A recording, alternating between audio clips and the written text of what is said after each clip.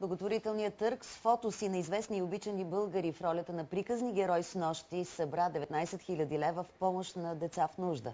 По време на благотворителната вечер най-много средства събра арт-фотографията на Любо Симеонов, прегърнал новородения Марти.